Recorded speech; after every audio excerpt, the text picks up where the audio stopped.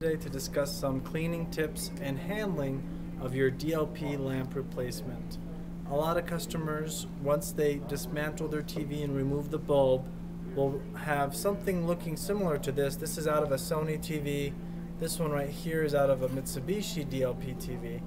Um, most DLP bulbs are the bulb itself and then they're in a plastic housing that is removable. Usually the screw, uh, the, the, the bulbs are attached to the TV using one screw. When you remove the bulb from the TV, you want to make sure um, when handling the bulb, especially the new bulbs, that you're wearing gloves uh, that will prevent the oils from your finger from coming into contact with the lens.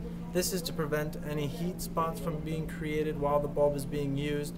Those heat spots can cause the bulb to prematurely burn um, it can also cause different issues with the optical assembly in your uh, TV. Proper handling um, is you always want to avoid contacting the front of the lens. Most bulb housings uh, don't need to be replaced. You just need to replace the bulb, replace the bulb inside with an original Osram or Phillips option. You also want to make sure you have Chemtronics. Um, a lot of people have canned air canned air alone isn't good enough. There's a lot of different brands out there.